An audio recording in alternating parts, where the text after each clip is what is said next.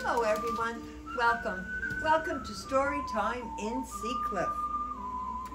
Yesterday's clue was a letter, an envelope with something inside.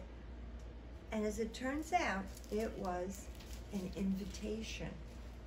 The story, as some are, is sad in the middle, but it gets very, very happy at the end. Okay, so you ready? What time is the party? Kathleen said to Charles as they whizzed home on their bicycles. One o'clock Saturday, Charles replied, and Minnie's ears perked up. Charles is having a party, she thought. she ran all the way home to see if her invitation was in the mailbox. But when she opened it, there were a few letters, but they were for her parents. Oh, hmm, Minnie thought. I wonder where it is. In her kitchen, the phone began to ring. Charles! She ran, and when she heard his voice, I'm so excited. I, I heard about growing worms in science class, Charles finished. Are you too? Worms? Minnie shrieked. Well, actually mealworms, Charles said. Uh, but I lost the list of things that we have to bring to school tomorrow. Do you have, do you have them? A worm? said Minnie. No, said Charles. The things that the worms would need, like a jar and what kind of food. Well, never mind. I'll call you back and I'll explain later. It's not his birthday on Saturday, Minnie kept thinking. Minnie kept thinking as she started her homework. She knew his birthday was in June, just like hers. Minnie checked the vocabulary words for school, and sure enough, the word party came up. Oh, I hope he calls me soon. That night, during supper, the phone rang. I'll get it, Minnie said. She was sure it was Charles. But no, it was a wrong number. As she dressed for bed, she looked in the mirror and she noticed the pattern on the uh, shower curtain reminded her of party streamers. She kept thinking about Charles and the party.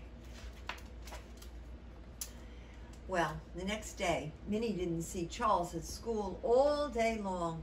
That afternoon, she raced home to check the mailbox. Oh, she was sure it was going to be in there. But no, it wasn't. Oh no. Think positive, she said to herself. I'm sure the invitation will come tomorrow. Mm. Next day, it was Thursday, she did receive a note from Charles at school and it said, Oh, I named my mealworm after you. I thought you'd like that.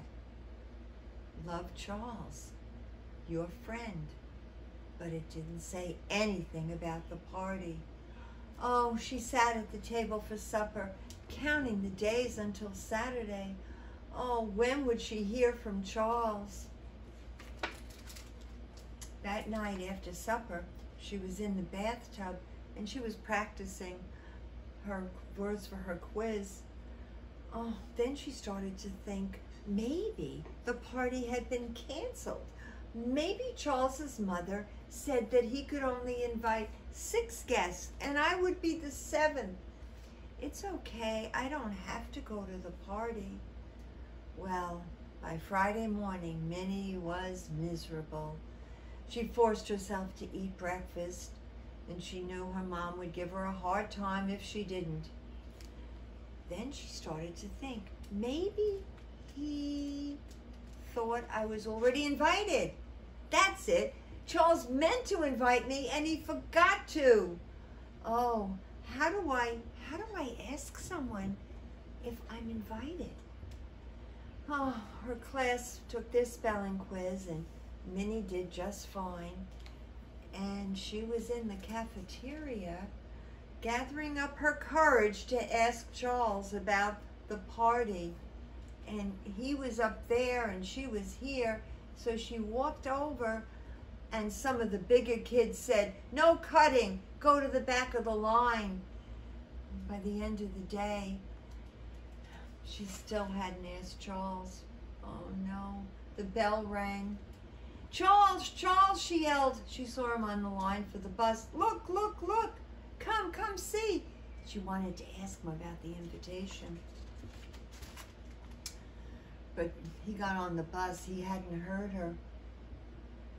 That night, Minnie ate very little supper. She went to bed early.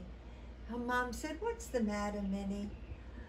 Um, I thought I thought I was going to get invited to Charles's party. And her mom said, Maybe you will.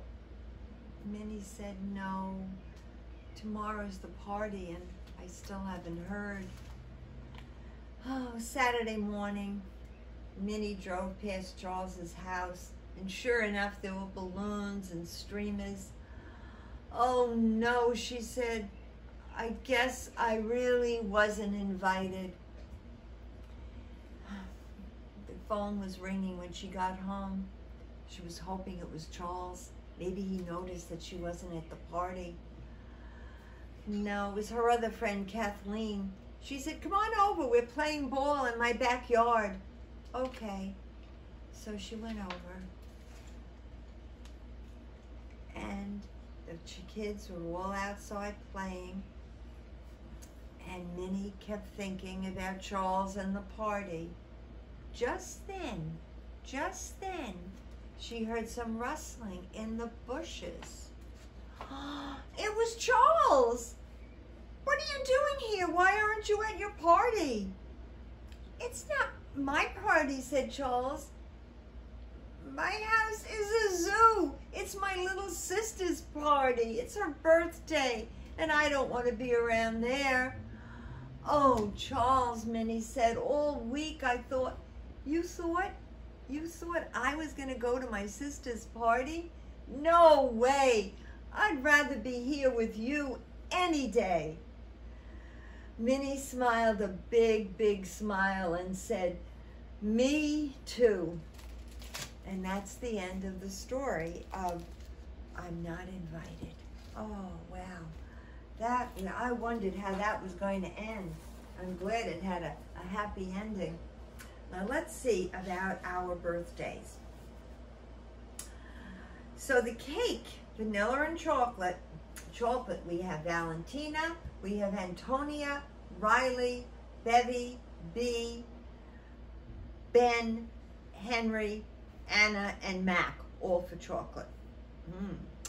On the vanilla side, we have Haley, Allison Maeve, Molly, Alice, Martha, Clara, Graham, Audrey, Lila, and Joseph all are voting vanilla. Whoa, whoa, whoa, let's count. Eight chocolate.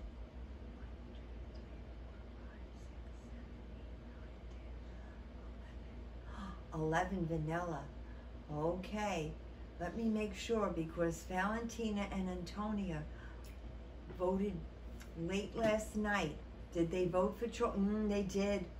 So, very, very big surprise. Vanilla. Vanilla wins. It's going to be a largely vanilla cake. There we go. All right. We have a dear, dear friend who's graduating from high school. Mm -hmm and his name is Joe. And Joe has been coming to the library since he was a little boy for story hour, and then he comes and he helps us. He helps us out when we need camera work. So we're going to celebrate Joe's graduation, okay? Happy graduation to you. Happy graduation to you. Happy graduation, dear Joe. Happy graduation to you. Right, everybody. Thank you. Oh, on, I almost forgotten. And this is a, I love this clue. Look at it, friends.